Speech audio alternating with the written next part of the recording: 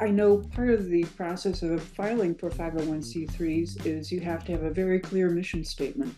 Correct. What is your mission statement?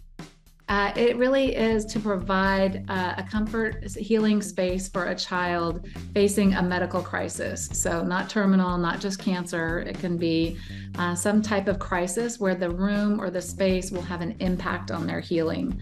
Uh, it will have an impact on their family, it will have an impact on their day-to-day living.